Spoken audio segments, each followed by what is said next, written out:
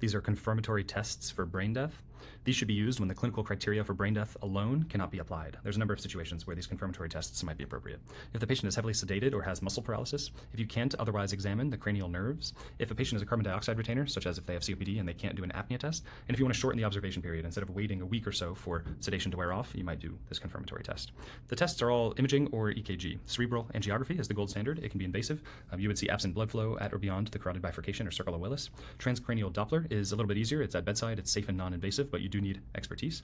Magne- magnetic resonance angiography can show absence of arterial blood flow. Um, this might be difficult if you have heavy clinical monitoring in the MRI.